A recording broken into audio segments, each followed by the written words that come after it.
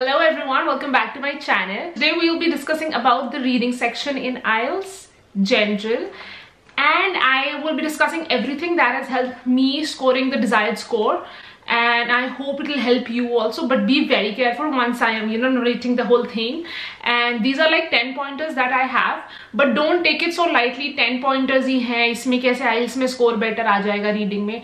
Trust me इससे ही आएगा take it very seriously each and every point I mean it या okay so the first point I would advise you to finish your IELTS reading within 40 to 45 minutes, maximum 50 minutes. There are some people who are little slow with, I mean, there's nothing wrong with it, but it can be harmful. So I tend to finish my reading IELTS exam within 40-45 minutes because the remaining time that you have, I'll tell you what to do with that. Second would be to revise the whole thing within the remaining time. And trust me, it will be very helpful. You have to revise the whole thing. Now, which one to revise first, which question to revise next, and which question to revise the last, I'll tell you that. Once you're doing your exam, within those 40 minutes, the third point is to mark the questions where you are not able to find the answer. If you don't know the answer of fourth or if you're not able to find it, just mark it in the question paper and move on to the fifth. That's the point number three. Or whatever you're doubtful about your answer, just mark it. Now once you've marked the dot, let me come back to point two to revise and redo it. So you would know exactly these are the dots that I am little doubtful about or confused about or I don't know at all. So you need to spend those last 15 minutes on those questions so that's exactly where you will save time and you will be relaxed that at least rest of the uh, paper is done. Because i can understand with this kind of a pressure where you know that you have a lot of questions left and you are not able to find the answer for the initial first few ones it is very difficult. And then with that pressure you're technically not able to find it where the answer is exactly there in front of you. So do that. This is a big tip. Now the book that i would recommend in reading is the cambridge book I would insert a picture here. So I did from uh, Cambridge Part 7, book number 7 till book number 12. So whichever, whichever is the latest book that you have, till that book from the beginning start practicing. For example, from 7 till 12, there are 4 reading in each, general reading. So I would recommend do one each. You don't have to do 10 or not even 2 in a single day. Just one reading each. One reading, one listening, each. Now we'll concentrate only on reading today. If you think you are confident enough to give your IELTS, go ahead attempt it. But if you want to take time take another month redo those sample papers and target get this target very clear that you have to have to uh, score 40 out of 40 that should be your target because you're redoing it. You technically would know the answer of it or at least back of your mind you would have an idea of it because you've already done that sample paper. Point number five is read the question first not not the paragraph so if you have fill in the blanks, if you have um, true, false, not given, actually it's not true, false, not given. That's the mis misconception. Actually it's yes, no, not given. I'll come back to that point also. Whatever you have, I would want you to read the question first. That's stupid to read the whole paragraph, unseen passage, and then we'll look at the question and then we'll reread it. That's stupidity so that's one thing. But the in but only in one case you have to read the para first and then question. That is the one which has the headings. So you know there is this part in readings where there are headings like six seven eight headings and paragraphs.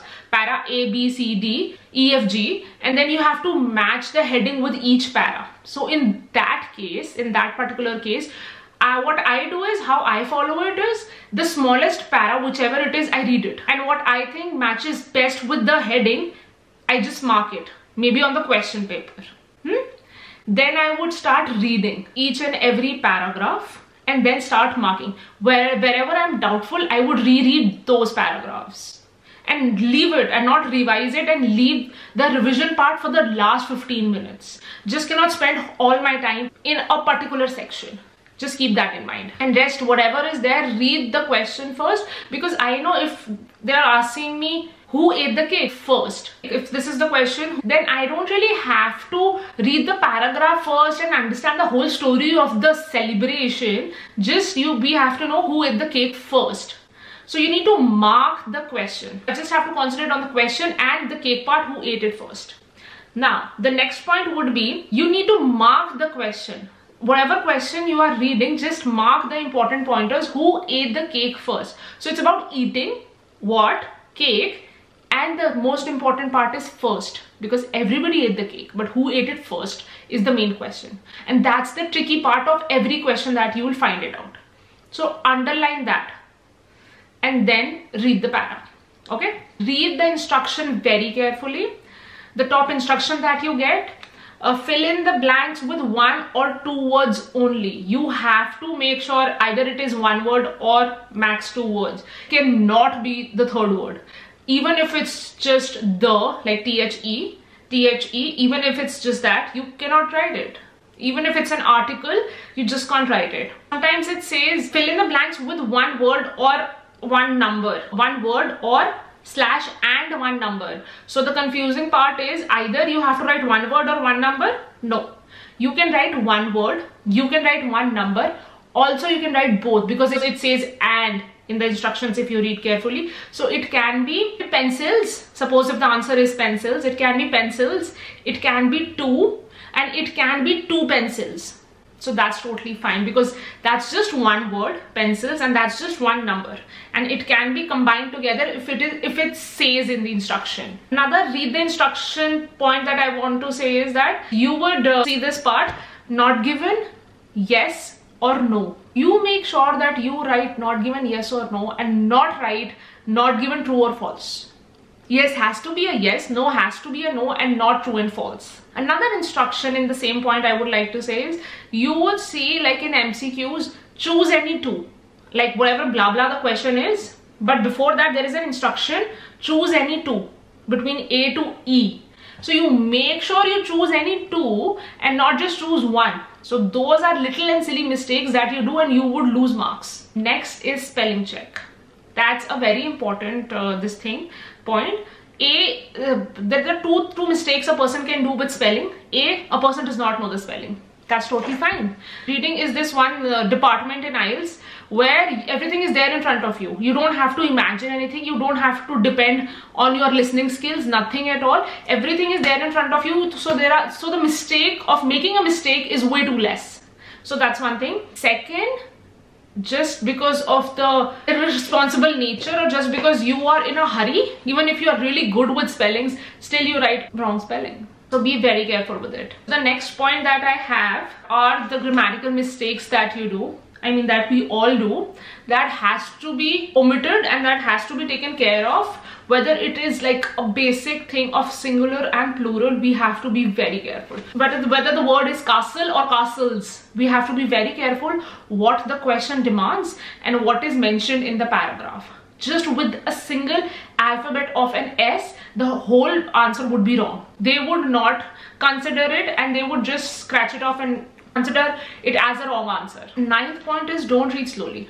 You don't have all the time in the world. One hour is way too less if you will consider that extra 15 minutes for your revision. If you feel like you want to complete the whole exam in exact one hour and just give off the paper, then it's your stupidity and then you're taking it way too lightly. Actually, you have 45 minutes and those 15 minutes you should consider it for revision my advice is don't read it too slowly if i have questions and i have to find answers or fill in the blanks whatever take any example I would quickly mark the question, the first question, mark it. I would not even read all the questions because I would know if I want to find the answer for the first one, there is no point reading till 10th question, reading till the 10th question because I would not remember 10 questions.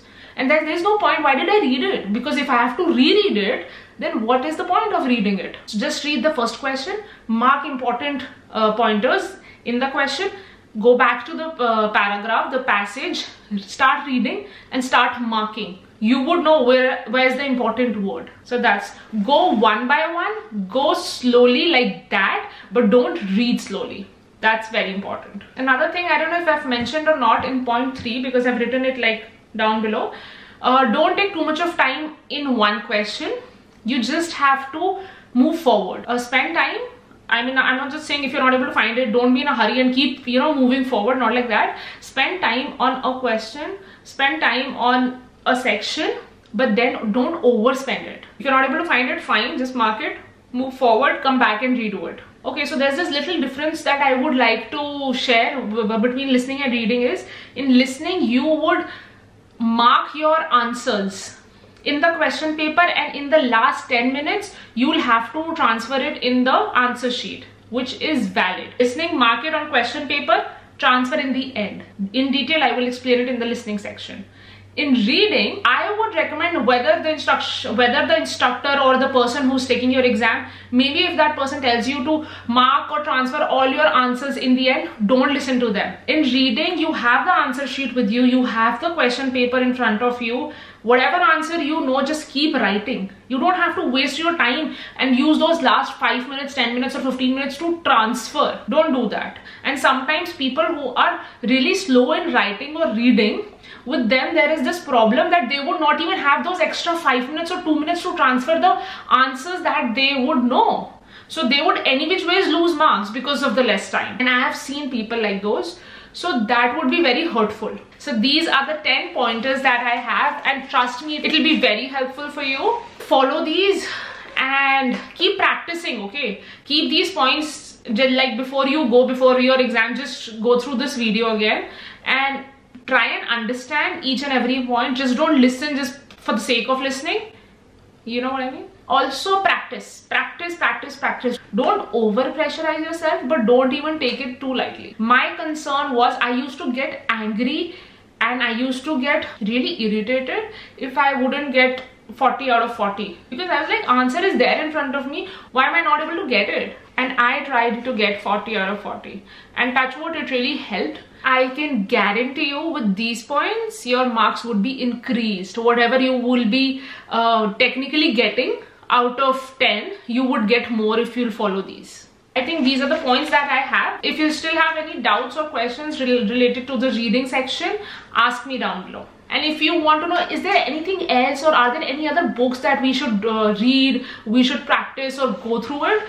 It's not needed this book that I've mentioned, this book is enough. Just practice these books. I mean all the serial numbers, all the books, all the book numbers and you're good to go. I will see you next time. I think I would shoot for my speaking or my listening right now only. You will see, see me in the same avatar, wearing the same thing, everything same next time. I'm just gonna shoot another one, yeah. I think I have the content. I'm just gonna shoot. Okay then, I will see you next time. Okay, bye.